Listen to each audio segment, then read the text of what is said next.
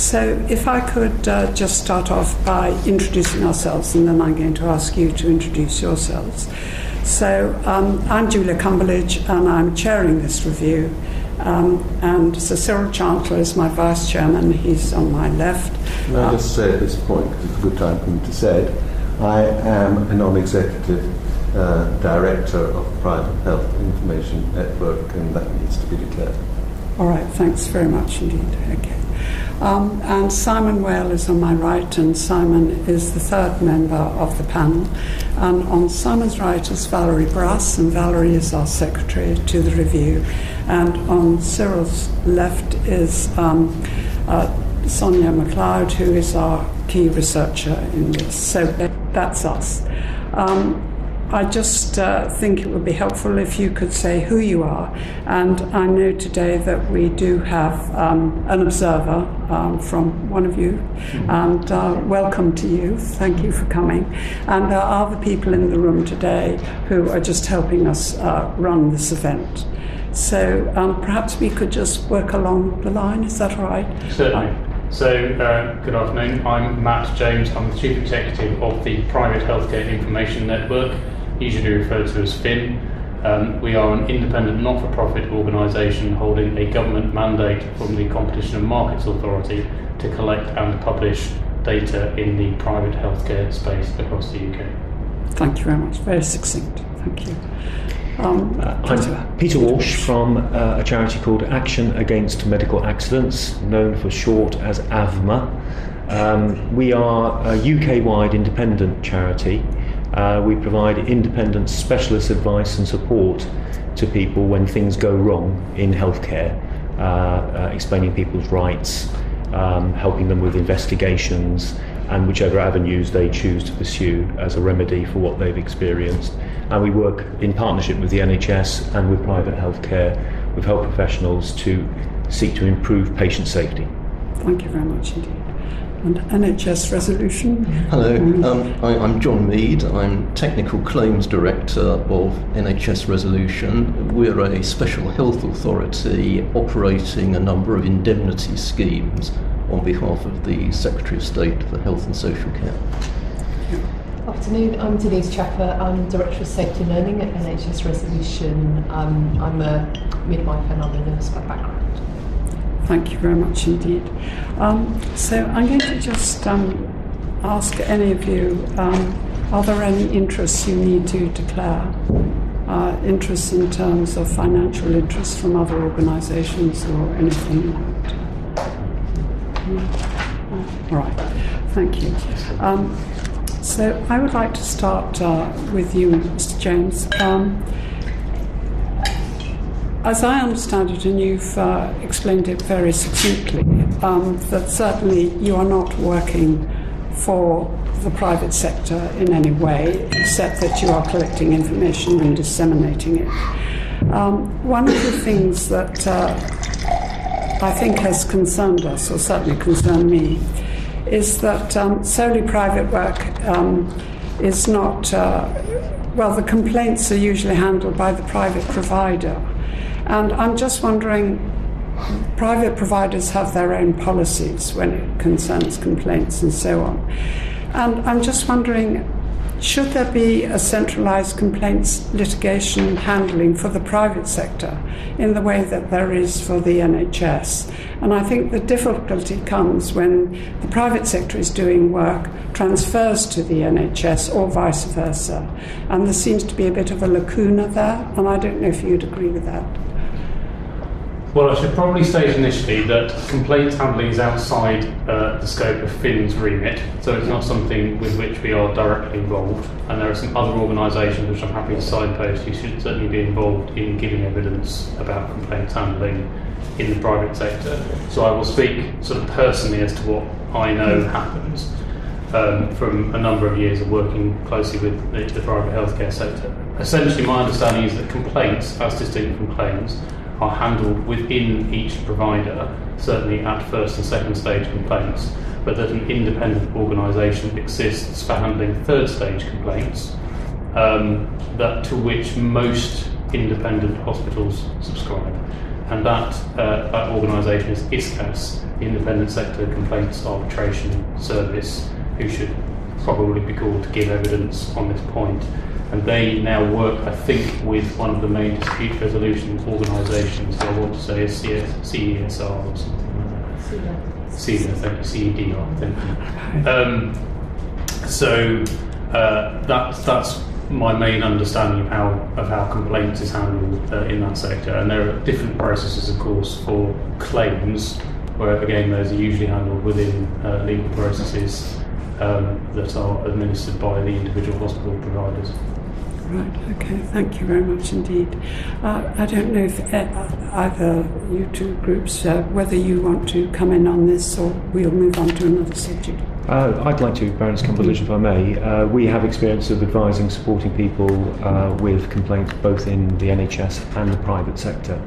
Uh, and we do notice a very stark difference between them. Uh, patients in the private sector do not have the same rights uh, as NHS patients. For example, if you're an NHS patient, you have a statutory right uh, to a standardised complaints procedure. Um, and if you are not satisfied with that procedure, you have a statutory right to take your complaint to the Ombudsman. Uh, the arrangements that exist in the private sector are an attempt to uh, provide a, you know, a second stage review, but it's not in any way uh, uh the same or even similar to the role of an ombudsman. Um, also, people in the NHS have access to paid for uh, independent advocacy, uh, certainly in England uh, and in Wales uh, and in Scotland. And um, that doesn't exist in the private sector. So, what we tend to find is that generally speaking, uh, people who've experienced problems, harm in the NHS get to find out about where they can get independent specialist help and advice. There are leaflets, there's posters, there are people whose job it is to signpost people. In the private sector, people are much less aware of their rights. They, you know, they, they don't have automatic rights to the Independent Complaints Advocacy Service. They often don't get told about us. Um, and so by the time people have got to us, they had a very, very difficult journey and gone to various places and been told, well, no, we can't help you. Um, and for years, um, we haven't been alone in calling for uh, a single complaints procedure uh, for private and NHS. Um, and also um, improvements, whether it's a single agency, it's difficult in the private sector because you have lots and lots of autonomous organisations, of course, um, but again, with um, NHS, say in England, we've got NHS resolution, you can get detailed statistics, you can get reports, analysis of what's going on. In the private sector, uh, and even with the um, primary care practitioners, it's, it's almost impossible to get any reliable data about what's going on, how many incidents have happened in which organisation, um, and what's being done about it, what follow up is taking place. Yes, so your solution then to this is?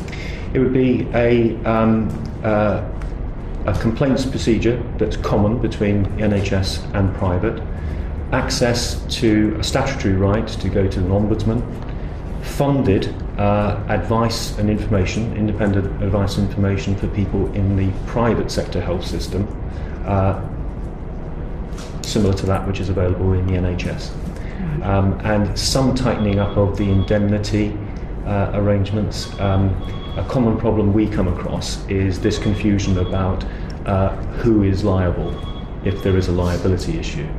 Um, you get uh, independent doctors working in uh, private institutions and you know the, the private hospital will say well it's the consultant you need to sue the consultant will be saying it's the hospital you need to sue if they've got a contract with the NHS, there can be arguments about whether this is an NHS indemnity or is it a private indemnity.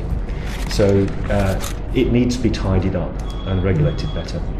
Right. Well, thank you very much. I'm not quite sure if this is really your field. Or... Well, it, it may be just worth adding that um, at NHS Resolution we do provide CNST cover for some independent sector that are undertaking NHS work that's commissioned. Mm. Um, so part of kind of, and John will know more about detail about them myself. But the um, in terms of the safety learning aspect of claims, we do produce um, what we call scorecards, which is giving back to organisations their own claims data, and that includes the independent sector that are in membership. Um, so we do do some work with the independent sector alongside the work we do with NHS organisations, um, particularly in the safety learning space. I know you've made great strides in that field, so thank May you. Can I just add a, a couple of observations which may be helpful? I think the first is that the issues of indemnity uh, will be looked at, I understand, by the Bishop of Norwich's inquiry into the issues surrounding the case of Ian Paterson. So it may be relevant to have um, some, some cross cooperation uh, with that inquiry on, on that basis. The second, just to pick up on Peter's comments, is in common with our mandate from the Competition and Markets Authority. Um, the issue of private healthcare is one where people are both consumers and patients. And so, to the extent that protection exists and complaints processes exist in private healthcare, they're possibly more oriented around a sort of consumer approach to protection than uh, in the NHS, where they're oriented around a sort of patient and, and medical approach to protection. And it's possibly worth considering how those two things overlap, because unlike in the NHS, people also are consumers and have that commercial uh, and financial aspect to consider as well. So, in some ways, the, the, process needs to be more than that in the NHS, but arguably uh, certainly not less. Right. Sorry, can I just Mm. follow that? The interface is actually between privately funded care in a private provider unit as opposed to NHS funded care in the private unit. So if you are an NHS funded Correct. patient in a private provider, you are following the complaints procedure that is the NHS mandated one. That would be my understanding. So as far as the provider is concerned, they can end up, and the clinician working in both ends up dealing with two different complaints processes. That's how it works. Yeah. Also, the, the indemnity, um, some private organisations use the CNST uh, under NHS resolution, but it's optional. Uh, uh, they can choose whether or not they join that scheme. So you can be an NHS patient, uh, uh, in other words, private healthcare funded under contract uh, by the NHS. Something goes wrong, and unlike any other normal NHS patient, you find yourself uh, having to sue an organisation that's using a completely different scheme uh, with different different cultures, different approach, different systems. Can, can, can I, did you want to come on? Um, can I um, go back, I'm sorry, to you, Sure. uh, Mr. James. Um, you don't appear to be receiving all the data that's mandated by the Competition and Markets authorities, uh, particularly on the adverse events data.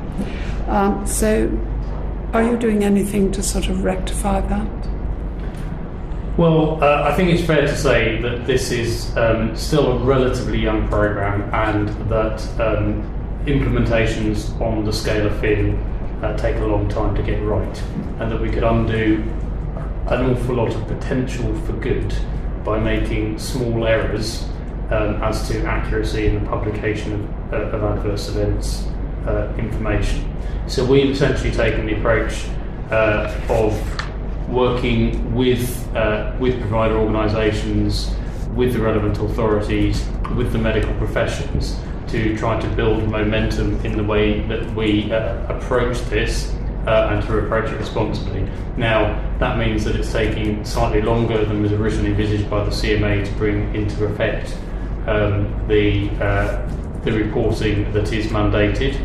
Um, but I am confident we'll get there. Certainly, PHIN remains fully committed to fully realising the scope of the CMA's order, and the CMA remains fully committed to realising the scope of the CMA's order.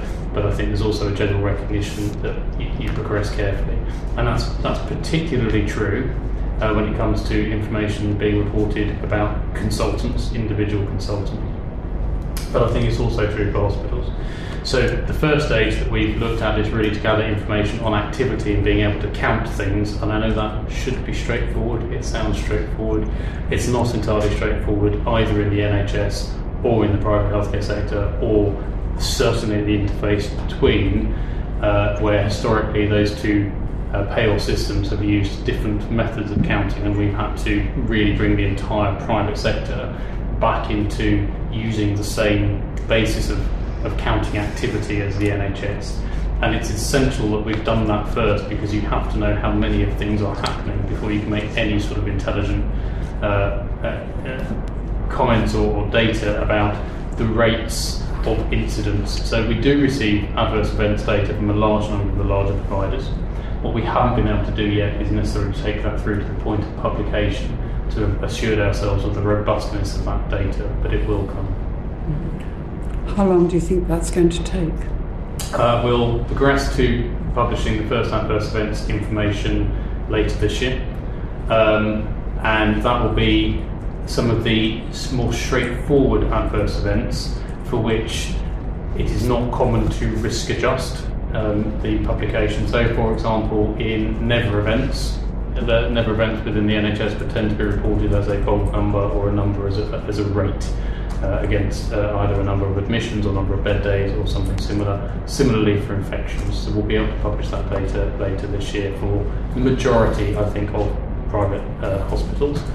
Um, and then there's a, a, range of complexity through the adverse events through to those which we've stated we will achieve and are putting an enormous amount of effort, not just internally to PHIN and, and the other organisations, but now in uh, close cooperation with NHS Digital, NHS England, CQC, and other parties under a broader programme called the Acute Stage Alignment Programme, or ADAPT, to bring to bear measures which simply could not have existed before and would not have existed without this programme, which rely on close connection between the private data that we're marshalling and existing NHS data, particularly on unplanned admissions, unplanned transfers of care between hospitals, and unexpected deaths.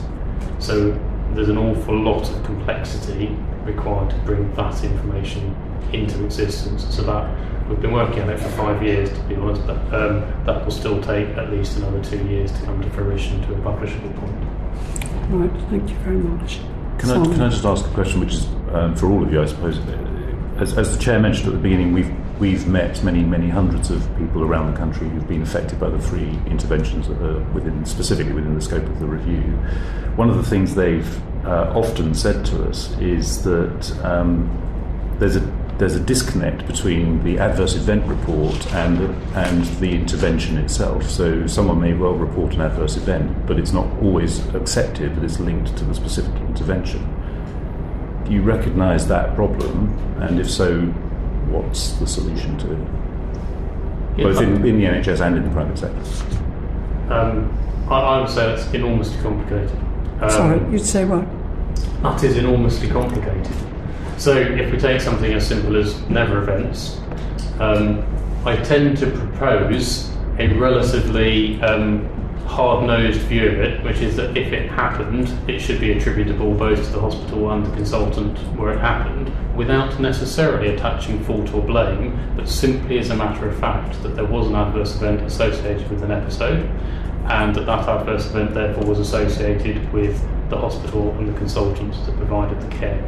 However, the history of reporting of incidents across healthcare, particularly in the NHS, because that's where it has happened, rather than private healthcare where it hasn't historically, is that people can't divorce that from a notion of blame um, and legal liability and other factors. So there is extreme nervousness about the idea of any automatic association of that publication and the effect that it would have on reporting rates, honesty, transparency, disclosure, therefore the ability to manage uh, the issues within a hospital and at a clinical governance level and at a national level, um, and how those things would affect. And that's so that's one aspect of it. There are also um, issues around definition, um, because it won't surprise anybody to know that there are many different definitions of any given type of adverse event uh, floating around the system, and you pretty much have to pick one and, and go for it. Um, I think uh, there are complications around the way that patients and the public and the media will receive and interpret the publication of those uh, of, of, information, which in, uh, as you might imagine, given the role that I've chosen to do, I'm a great advocate of transparency and getting the data out there. Um, but I also do recognise that uh, information put into the public domain is often not used responsibly or is easily misunderstood. Um, and I think there are a range of other complexities also, uh, you know, to consider um, and, and, procedural factors. So, for example, in this review, you're looking at some very specific interventions and very specific adverse events that attach to those. Uh, PHIN's work takes a much more general approach to adverse events because we're trying to cover all specialties, all interventions, um, 500 hospitals, 15,000 consultants, 20 different specialties, both surgical and medical, um, at least 11 different types of adverse events across those. It, it has to be a relatively generic approach. Now, sometimes you will see the same answer from two different directions. So, for example, a specific failure may lead later to a readmission to a hospital. Clinically, and for the purposes of this review, you may want to consider the specific failure. PHIN's data would look at readmissions to hospitals and then ask what was the reason for that readmission. So you might get to the same answer but from two different directions. And again, that sort of complexity needs to be understood. So none of that is to say we shouldn't be doing it, none of it is to say it shouldn't be done. We are absolutely 100% uh, committed to getting through those issues, and that's why we set up the organisation and are pursuing this course of action. But I do also recognise the complexity in it, and I recognise the frustration that it would, would be experienced by patients because those things don't seamlessly mesh. Yeah, I think it often goes beyond frustration. It's desperation Ah. because you know, if you take as an example, we could apply this across each of the three interventions that we're specifically looking at. But if you take as an example um, surgical mesh, if a woman uh, reports um, severe chronic pain, abdominal pain following a mesh operation, we've certainly been told of many cases where that woman has been told, well, it can't possibly be doing anything to do with the mesh that's been inserted in you. Um, and it takes that woman months, sometimes years, before someone actually says, well, perhaps it is, and then then the story changes and her, her experience changes. But it, the, the, the, the emotional stress of going through that kind of journey is extraordinarily And, uh, difficult. I, would- I would recognise that completely because I think um, in order for people to be able to recognise that the mesh may be associated with the chronic pain, there would need to have been a certain amount of data collected to say that mesh can be associated with chronic pain. But there also needs to have been a process that comes before that that finds a way of recording chronic pain as a complication potentially of that kind of intervention.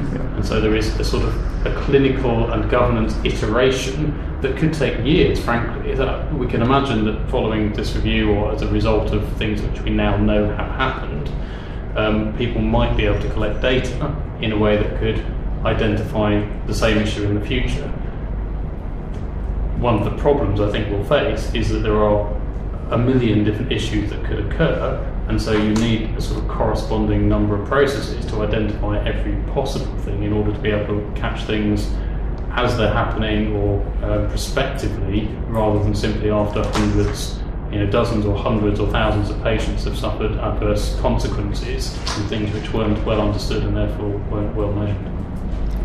I, I, I mean, sorry. do you Well, want to- I was going to wonder whether other witnesses wanted But- to. Would, would, would NHS witnesses like to say anything? Well, probably from a slightly different perspective, I think, responding to um, my colleague, is the whole area around instant reporting and the reason for instant reporting, particularly serious incidents, is based on um, learning. So, you know, the actual national reporting learning system is, is what it is there for.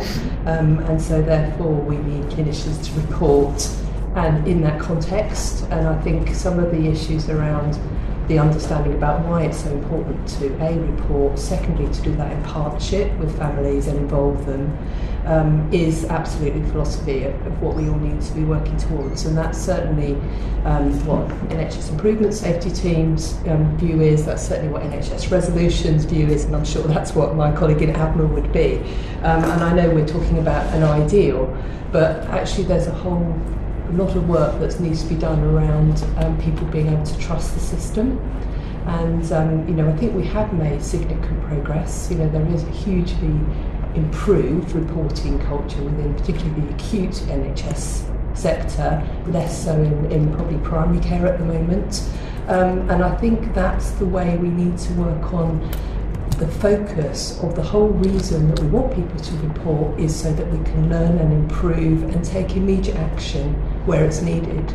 Um, and that's absolutely the philosophy that we are working with, certainly within my own team. We, we've been doing some workshops around in, improving understanding around what must happen at the point of incident, there, you know, the point of a moment an incident occurs, what is the support that should be put around that for families, whether it is around, you know, immediate um, meetings, avoiding having people go into some adversarial complaints processes, involvement in investigations, and we've seen some gradual improvements, but some of our most severe harm ends around maternity, the importance of involving families through the investigation process and feeding back.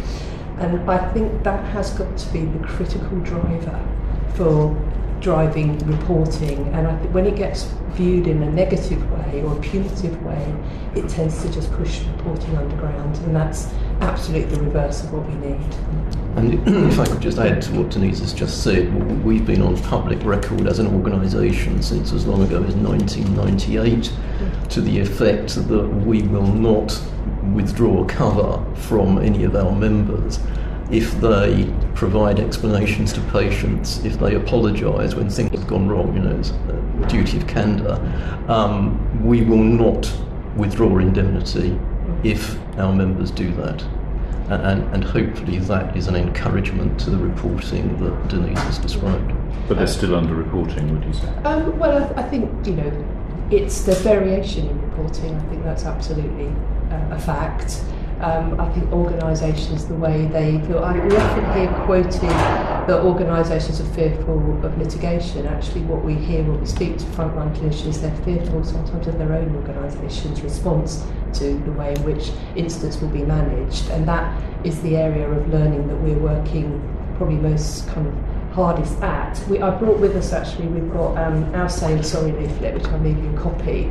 Um, so it's, it's absolutely in print that saying sorry is absolutely the right thing to do, um, you know, and it is what we would expect. And so I think our common messaging across all of the arm's length bodies is the first point is, you know, openness, recognition, transparency, apologies, support for investigation and we've got a journey to go on. Although I think you know we have made significant progress in some areas that, that we're getting much better at it, but there's a long way to go, as we've heard. Peter, do you want to add anything? I mean, I particularly want to ask actually about the duty of candour, which of course is a relatively new law, and whether that actually has increased some of the um, reporting or whether it has decreased it. On that specific question, uh, it's, it's too early to say, um, uh, but anecdotally, uh, the feedback I'm getting, I don't know if colleagues at NHS Resolution would um, corroborate this also, um, despite teething problems with its implementation, with uh, people understanding what has to be done and how to do it compassionately and well, um, by and large, things have improved since the statutory duty was brought in in England people are having conversations with patients or their families that before the duty of candour came in simply wouldn't have happened. Um, or they're certainly having fuller conversations uh, than they would have done before this was brought in.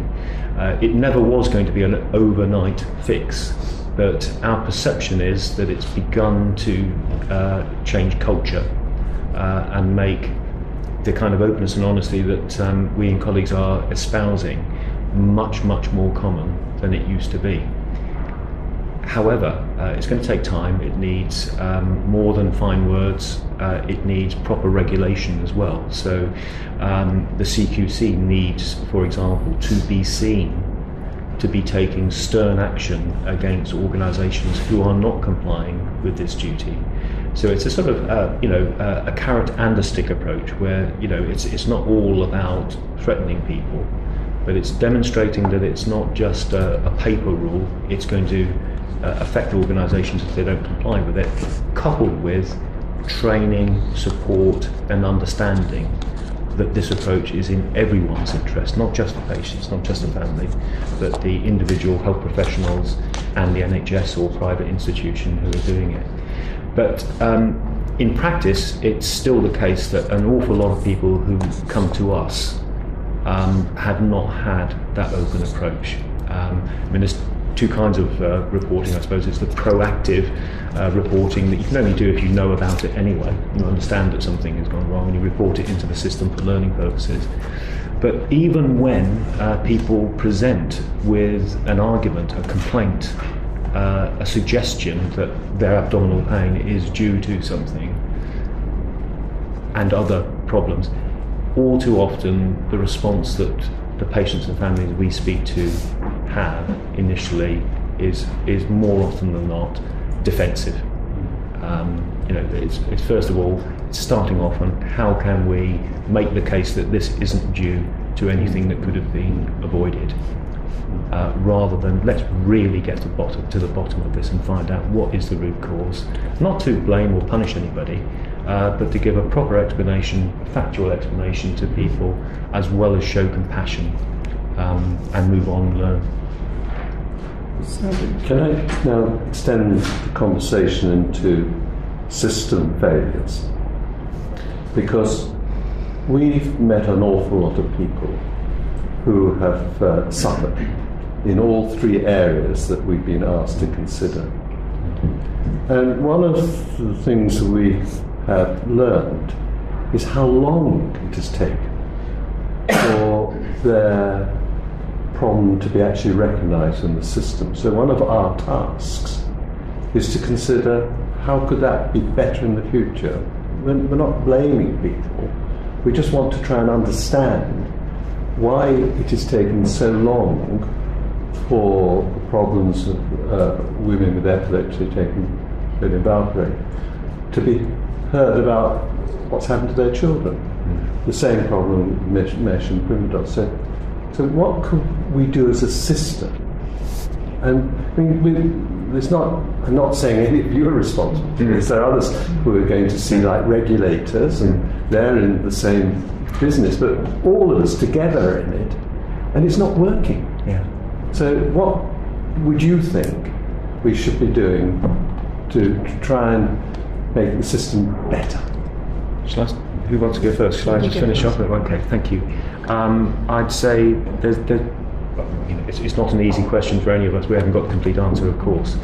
My two t- suggestions are one around culture. Uh, is you know we have begun that journey of mm. having a more open and honest culture, mm. and it, when I say open and honest, I'm not suggesting that people are always being dishonest when they bat problems away. I think it's part of human nature not to want to believe that we've been harming people, not to want to countenance the fact that lots of people have been harmed who needn't have been harmed. Mm. And it's it's overcoming that sort of culture by not having a, a blame orientated approach, mm. uh, by showing that people aren't going to be inappropriately hung out to dry as individuals. Um, so there's all that can be done around culture, but also it's the regulation uh, and the robustness of investigatory procedures. And I think, again, we, there's light in the tunnel because we now have the Healthcare Safety Investigations Branch, a properly specialist, dedicated unit, albeit very limited in capacity, uh, who um, can look at issues uh, forensically and come up with learning points for the system. Um, if we can have much more of that, I mean, Denise mentioned that one of the weaknesses we all recognise that's been across the system is the quality of investigation. Um, it's been very, very inconsistent, to say the least, sometimes appallingly bad. Um, and anything that we can done, I, I, think that in itself is the single biggest thing, improving investigations um, in, when problems begin to get recognised that could help. Thank you. Um, I think what I would add, I mean, I, I agree with, mm. with what um, Peter said, is um, the fundamental issue there is, is around um, clinical medical professions seeing families and patients as partners, and I think it starts with that relationship is that people are equal partners in this journey, and therefore they're entitled to adult level information that gives all of the risks and people can have those conversations. And I think whilst, and same with the duty of candour, we've got areas where there needs to be huge improvement. We have got pockets of excellence as well around the country. We have got organisations where You know, particularly um, they've been assessed as being well led. There are features of, of that that are shown in some of the CQC reports that show something's different going on. So there are different types of relationships with patients. Um, and I'm talking specifically from a hospital point of view. I, I can't really speak with expertise around primary care, apart from my own personal experience clinically. Is that where partners, where patients are seen as partners, and the organisations focus is patient centred, you tend to see that those kind of relationships um, around people being listened to and being heard and being met with when they've got concerns um, happens a lot more swiftly. And I think one of our, our biggest challenges, and certainly the work we see across the whole of England, is variation. You know, and what we've found that does help um, is to encourage improvement by shining a light on what good looks like. And some of the conversations that people um, need confidence to have, the difficult conversations around explanations when things haven't gone well, staff need training and support of how to do that. Um, we've been providing some having difficult conversation training, for example, in our maternity early notification scheme to help clinicians have those conversations. We have assumed that people are able and confident to do that, and that's a bit of a journey. But from our experience, we run a number of conferences around the country, and our, what's different and unique about our conferences is that we try and get where we see good practice, we get the organisations to present to each other. We avoid having keynote speakers, and we get you know an organisation that's really made progress in a particular area to share what it is that they've done. Um, we recently had a very successful conference on understanding consent, and we had Nadine Montgomery speak. And I think hearing the person behind that whole piece of work around consent legislation from the heart, saying why did that happen and what was the journey of that, that changed the views of people in that room, and they went away and they, you know, their whole way in which they're going to practice and have relationships with families will change. And so we can't change it all overnight, but I think by shining a light on what good looks like, it gives organisations confidence to, to see that they can do the same. Can I just ask, sort of, okay, we're all saying duty of counselling, you think it's made a difference. Mm-hmm. You're saying you're doing education yeah. stuff. What's the follow up to actually make sure that things change? well, I, I think I mean, that's a really difficult question because that's a measurable question, isn't it? What's the impact of all of this? Um, I think what you see, I mean, there are some measurables where organisations are getting this right, you know, and, and I think, you know, going back to the well-led domain, that's one example of, um, you see um, the, the way in which an organisation is, is viewed by the users of it in a much more positive way, the way they can access the services, they can get hold of senior people. Um, one example is there's there's one trust that's been um, in the well-known domain who has a 24/7 email direct line to the senior executives if there's any kind of problem, and they will commit to resolve that very quickly. So I, I think you know where I mean the, the problem with duty of candour is what we mustn't do is you know have a policy and miss the point. You know the point isn't what level incident this was. This is it's what would I want if I was a family member and something's gone wrong. You know I don't want to say does this meet the duty. Actually, every kind of area of um, care, if, you know, if somebody wants to have a discussion about that, it should apply across the board. Um, in terms of whether you know we're seeing progress in that, I, I it's impossible to say, but what we can say is that there are some organisations who are ahead of the game on this, and where that's happening, there are other measures externally to us where we're seeing improvements, and you know, particularly around the complaints side of it, unresolved complaints, and some of the the work um, that's been done with complaints in particular is one other measure is repeat complaints. So when a complaint's not been resolved, it comes back and comes back. Whereas actually, if you have a philosophy that the moment you have a complaint, you meet with someone face to face and you, you resolve the problem or aim to, um, it then avoids people getting into that adversarial relationship and approaching um, Peter's organisation because of the frustration that they haven't been able to get an answer, which then goes further down the line is about the only way I'm going to get an answer here is to take a claim because I'm not feeling that I'm being listened to. So I think it's a complex question to answer, but I think it's upon all of us across the whole system. I think um, the question was about system working is how do we work collectively across all of the system, whether it's ourselves, NHS Improvement, Academic Health Science Networks, how do we do it with one purpose, which is actually to make it far more partnership for families and they're feeling equal partners in this. But I think the other question is how do we know if the interventions are actually working? Yeah, well, I, I think well the only way you would know is is the feedback that you get from families that use their services. You know that they, they feel that they're open, they're accessible, they're listened to, and you're not having a, if you start to analyse complaints, your complaints are not all in that space. You know, around feeling that they're not being listened to. Can I go back to this question of a system? Yeah. Uh, when things begin to go wrong, uh, it seems to take an awful long time before the system understands they're going wrong and can do something about it. And at least that, that's the experience in these three areas that we've been hearing about.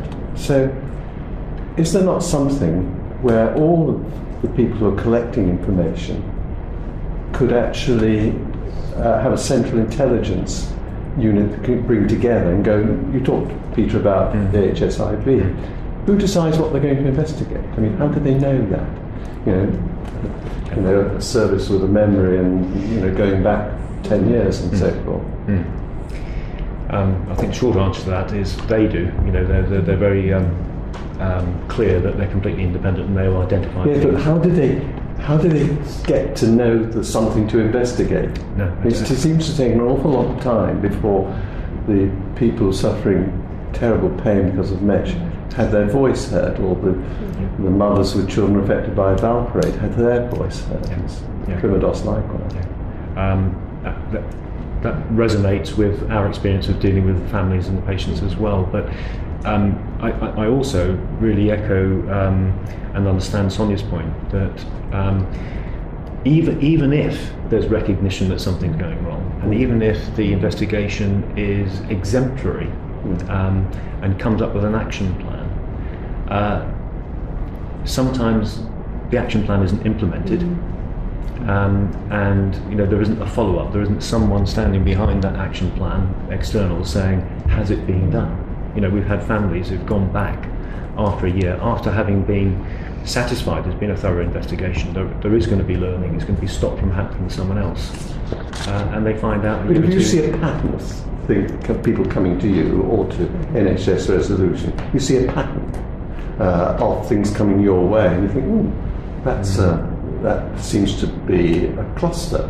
Where do you go immediately in the system to say, hey guys, you need to be thinking about this, and then they can use other intelligence and CQC or MHRA or wherever?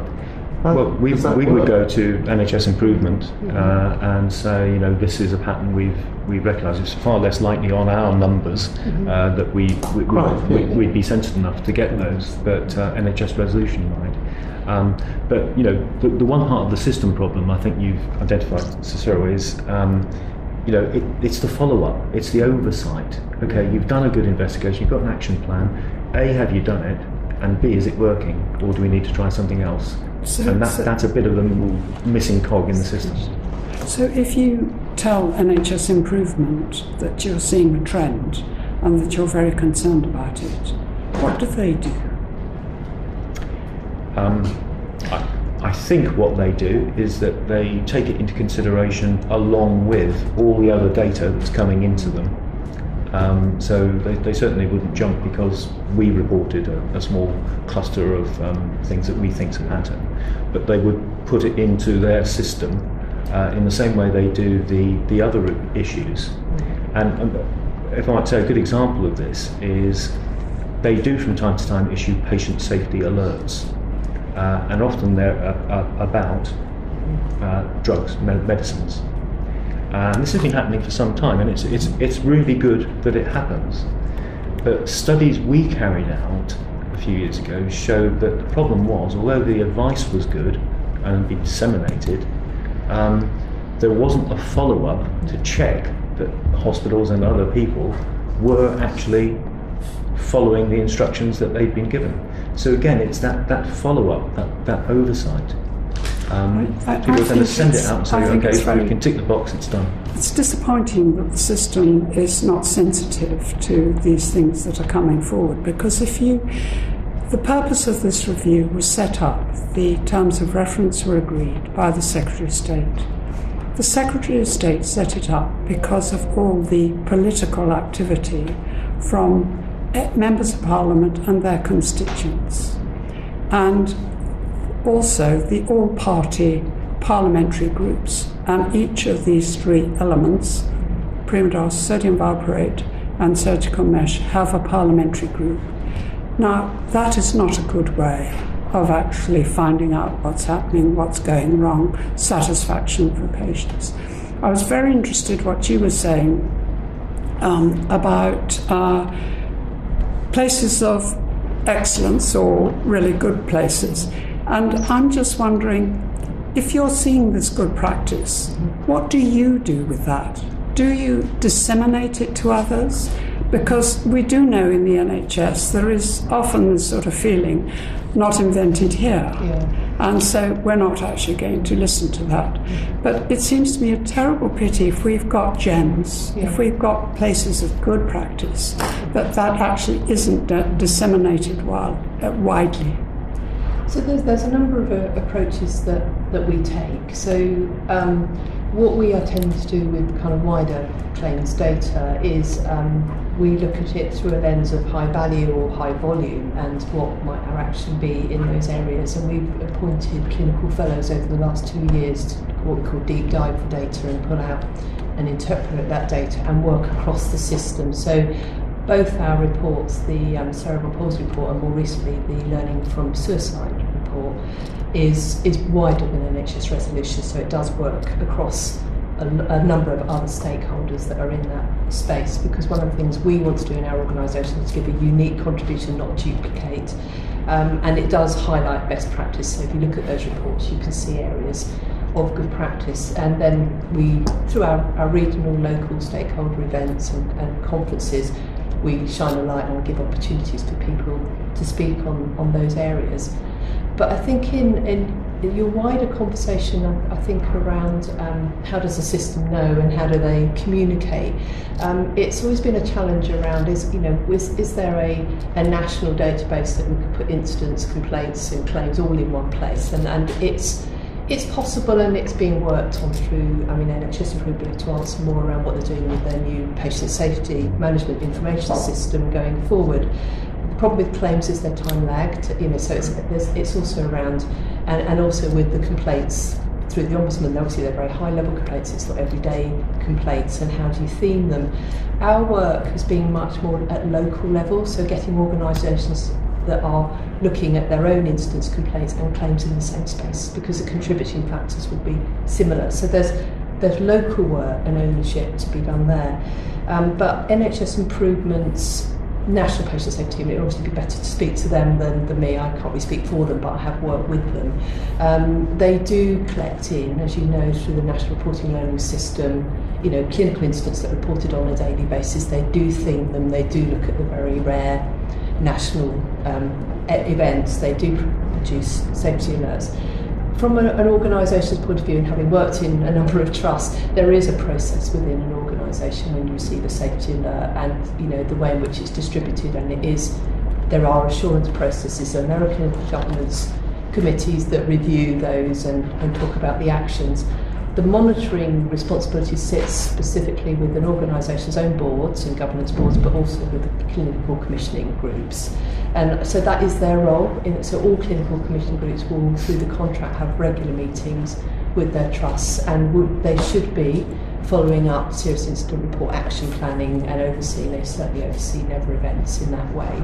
So there, there are people in the system doing this, and I think very similar to how we spoke earlier. There's variation. You know, there are some places where that's being done in a very, you know, very sophisticated and advanced way, and others where there's a way to go. And one, one of the messages coming through from this is that there are there are several organisations, perhaps more than several organisations, who have a responsibility in this area, Yeah. both within the NHS and uh, separately, and in addition in the pr- private healthcare sector. I mean, is that part of the problem that there's always overlap and or confusion about whose responsibility patient safety ultimately is what we're talking about here, whose responsibility patient safety is, And does, is the solution to that to create yet another body, which is the body responsible for patient safety? Um, well, I think it is one of those cases. Patient safety is everyone's business, mm. um, um, but is, it's no one organisation's sole responsibility. I think the responsibility on, I speak for NHS Resolution, our responsibility is to work in partnership and alongside those other bodies for exactly the, the reasons that I've spoken about. Our examples of that are in the maternity space, particularly We've got a, um, a new initiative where we are receiving point of incidence around potential babies that may have potential brain injury. So we are knowing at the point they happen now, whereas in the past we wouldn't have known until we received a claim. And so we're able now to work with those bodies, CQC, NHS Improvement, NHS England, Royal Colleges, around things we're seeing that happening this afternoon. So in the past we wouldn't have known. So I think there's progress being made. There's progress being made in learning from deaths and the inquest work, which we've certainly been linked up with with AvMA.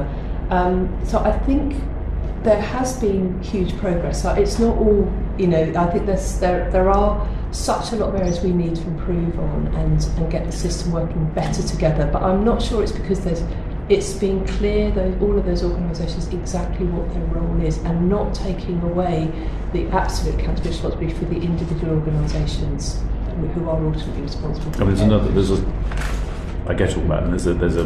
But there's a sort of another perspective to that. If you're if you're the person who has suffered harm. Yeah. Is it clear? I mean, do you think it's sufficiently clear to, to an individual in that situation where they should go, who's responsible for helping them? Well, I think, I mean, the question, I suppose the real test of that question is to ask the patient or the family. I and mean, when we've asked people, yeah, so the we've, families, we've got a very clear yeah, answer from the people we've Yeah, the spoken. families, you know, their first port of call would be the organisation where this has occurred. Um, I think what they would then look to do is go to external bodies, you know, that, that may, or if they've not had a good response from the organisation responsible, they'll go to other bodies. And I think that's where it becomes confusing mm. for, for families. And I, I think, you know, clinicians themselves are also confused about the different bodies and the roles, particularly as there's quite a lot of change going on at the moment. It, it does make it much more difficult to navigate the system. But I think that's, you know, upon us all, our, our role is, going back to partnership with patients, is to help and signpost them, not to send them off somewhere else. You know, for people to hold the ring and try and resolve things for them instead of saying, oh, it's not my organisation, going to talk to X. And certainly we don't do that. Um, we've had cases where we had people come to speak to us where it's not specific claim related, and we will pick up the phone and get somebody to support them rather than just say, "Oh, it's not us. Go and talk to someone else." That's, mm. you know, I think that's all of our responsibilities to to not do that. I have to say, in maternity services, um, we've had real pressure put on us mm. from the clinicians to have a single portal yeah. because they are just fed up having to put in the same information to so many different bodies. It's inefficient, it's wearing, it's not good for the clinicians, and it's not good for the patients. Um, I mean, we would all agree with that, and there's, there's kind of a, a shared ambition to mm. resolve that. Um, completely agree. Yeah. Um,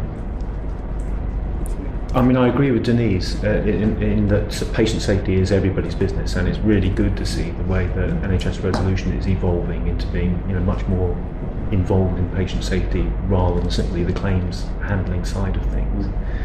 Um, how, and, and NHS Resolution are also very good in terms of uh, telling members of the public uh, where they can go to for independent advice and help. So we get people coming to us because they've been told about us or found on NHS Resolution's website information about us. The duty of candour guidance for all registered organisations clearly says that those organisations should be telling people about us and other forms of independent advice and support. Now, we, some of them do, uh, but we know that a huge number of them don't. Um, so, in theory, everyone who's been part of a duty of candour process mm-hmm. should be handed some information about where they can go to get an independent view on what they've been told mm-hmm. and whether they need further help. Um, it isn't happening um, consistently. And so it, it, it's another example of um, things are moving in the right direction, uh, but they could move much, much faster and be much more consistent if there was a tougher requirement to follow um, the guidance and the, the systems that exist. Right, any questions? Um, yeah, something, something you're going to do. Um, it was just one question, and that is that we have heard from an awful lot of people, a huge number, and yet in the evidence that you submitted to us in terms of sort of pelvic mesh claims, I think you said you had 160. Now, compared to the hundreds of women we've heard from, that's a very, very small number. And there seems to be sort of a discrepancy there. I wonder if you'd like to elaborate more about that. Well, the, the 160 are, are, are the women who've actually made claims, um, and there are a lot of reasons why individuals choose not to make claims. Um, some of them don't want the hassle, some might not be able to get appropriate funding, some might not be able to find the right solicitor. Um, and litigation or making claims, certainly litigation, are very um, tiring and trying processes.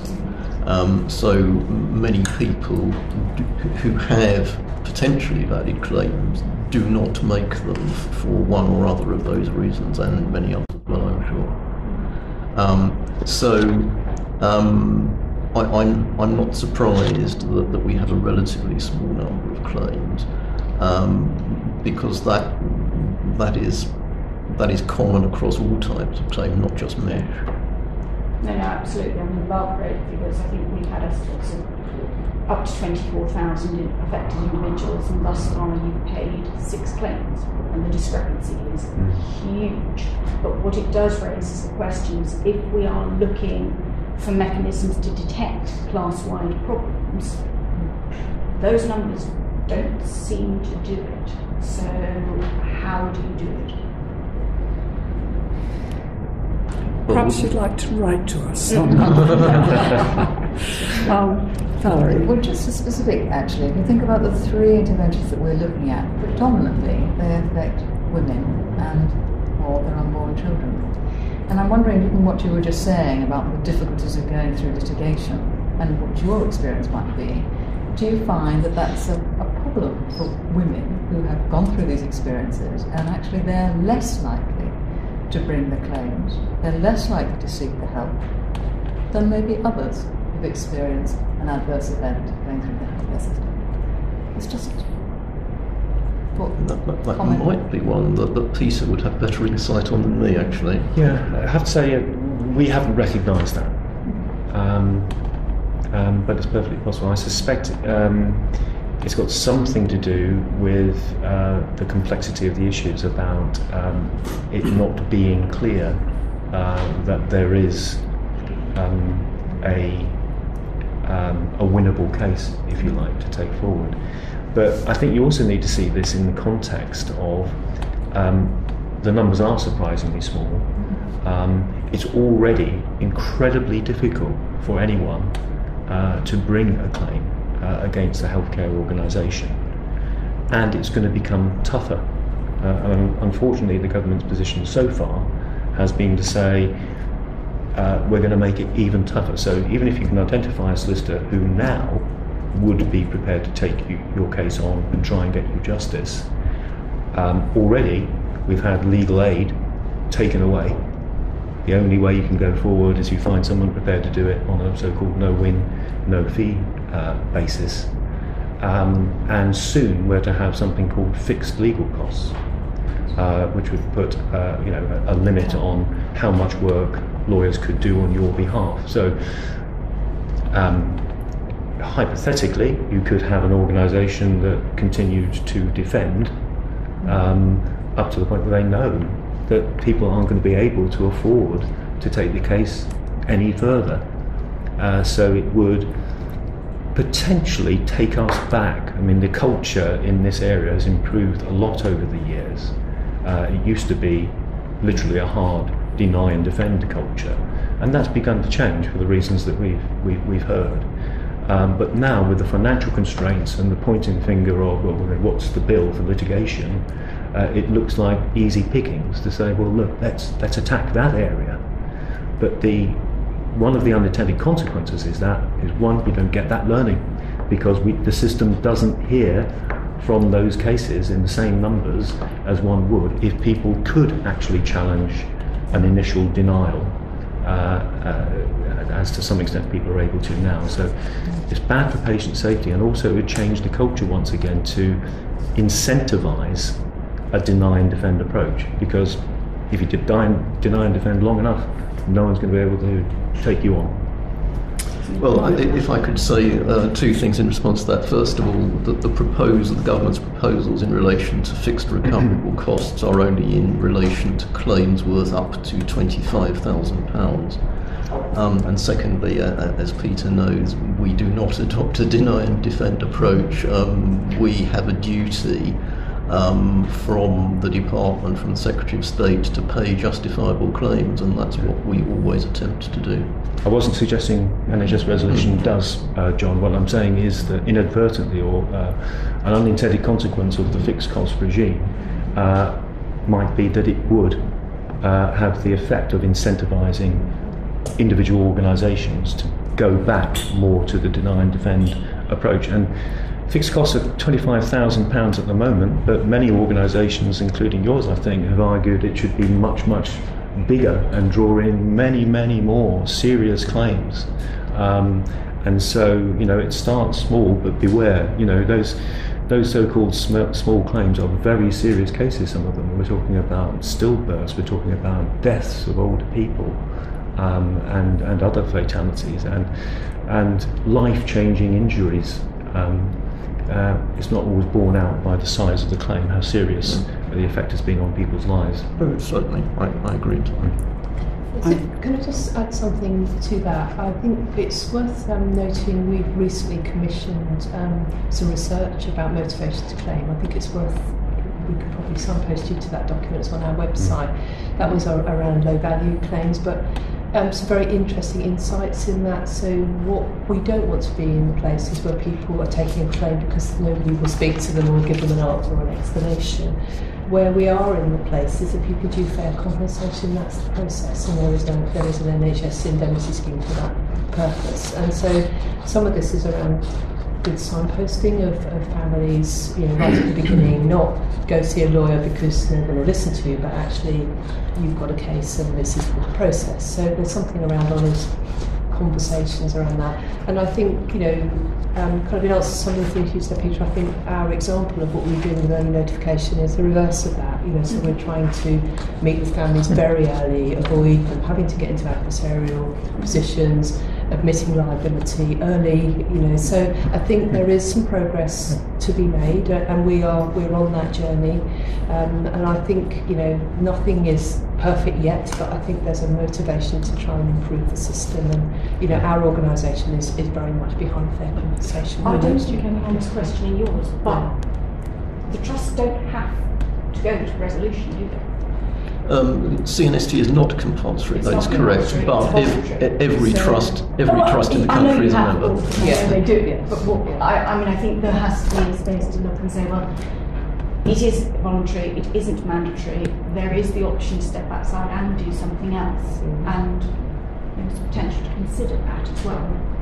I think it's unlikely because let's be honest, you've had 100% of them for a very, very long time. Mm, 20 years. Mm. I'm, I'm going to draw this to a close now, but I'm going to ask my colleagues if there's anything finally they want to say, and then I'm going to ask you the same thing if there's uh, a, a final thing you think we ought to uh, be discovering, thinking about in the course of the review. So, Sonia, anything? Nothing. No? Simon? No. No. Valerie? No. Right, so it's over to you. Um, Matt, I do appreciate you've had to be quite uh, quiet on this, and uh, but we did appreciate very much what you were saying at the beginning. Well, I think we, we have a second evidence session as well, which is speaking specifically about data that can perhaps pick up on some issues there. But it struck me through that last conversation, starting with Cyril's original question about systems and improving the time that we are at a point where we are still applying uh, 20th or even 19th century processes to um, to problems which arguably could be addressed in a different way these days if we can collect information, understand what that's telling us, and react appropriately better. because the process of legal recourse via an individual taking action through a lawyer against an organisation has been part of English justice for hundreds of years. Um, and the process we've talked about about joined up information um, being available again, as we started to explain earlier, rely on a certain iterative, very gradual, very slow building up of evidence. Now, I think some of those factors are addressable through better use of modern technology and better reporting if we choose to do so. And whilst we don't have time to get into it now, I will flag one counterpoint to that, which has been mass, a massive inhibitor to us in our process of bringing better information forward that I would strongly encourage the panel to consider if you haven't done already, which is the the factor of uh, how data privacy laws interplay with the desire to protect patient safety because I see those things operating in opposite directions uh, with massive in- inhibition to proper authorities' ability to properly protect patient safety because information can't easily be moved around the system and analysed. And I know we don't have time to get into that now. I'll be happy to pick that up in, in the following session. But if we don't get time at that session, I would encourage the panel to look at it. Uh, there's always an opportunity for any of the panel um, opposite us here uh, to write to us um, if there's anything you feel we've missed or we ought to be exploring. But uh, Peter. There is one thing we haven't had a chance to discuss that I'd like to say. It's around the transparency uh, uh, about trials uh, and other information about drugs, medicines, or uh, devices, uh, which at the moment doesn't have to be volunteered. So people, you know, are able to choose the, the successful results and put them forward. They don't have to publish all of the information, all of the evidence that they hold. And that seems to me to be a very, very serious gap in the system that could be plugged. Yeah, I think when I was at St George's, it was called grey material. is that yes? Uh, um, nothing specifically for me, thank you, but we're, we're very happy to assist the, the panel in, in any further Thank way you. possible.